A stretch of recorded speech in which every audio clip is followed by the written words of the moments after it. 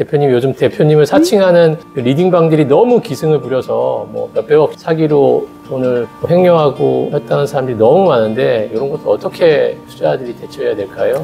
아, 저도 이거 저뿐만 아니라 많은 그 유튜버라든가 유명 연예인들이 도용당해서 아이디를 도용당해서 어, 사기를 많이 하고 있는데요. 저도 이제 경찰서에 그 신고도 하고 아, 여러 가지 전화가 오면 절대 돈을 보내지 말라고 하고 있는데도 역부족인 거를 느껴요. 왜냐하면 너무 가짜들이 흥행하고 있고 또 그 사람들은 뭐 걸리더라도 또 새로 만들면 되니까 일일이 다 쫓아다니면서 어, 하기도 불가능하고 그래서 결과적으로 뭐냐면 개개인들이 금융 지식을 가지고 사기를 당하면 안 됩니다. 되게 금융 문명이 높은 나라일수록 사기를 당하는 확률이 높아지는데요. 그래서 제가 당부하고 싶은 거는 저뿐만 아니라 모두 그럴 겁니다. 돈을 요구하지 않아요. 여러분들 투자를 대신해 줄 테니까 돈, 돈을 요구하지 않고 또 하나는 여러분 절대 리딩방 같은 데 빠지면 안 됩니다. 리딩방이 여러분들한테 절대 도움되지 않아요. 주식은 단기적으로 어, 절대로 이익을 볼 수가 없습니다.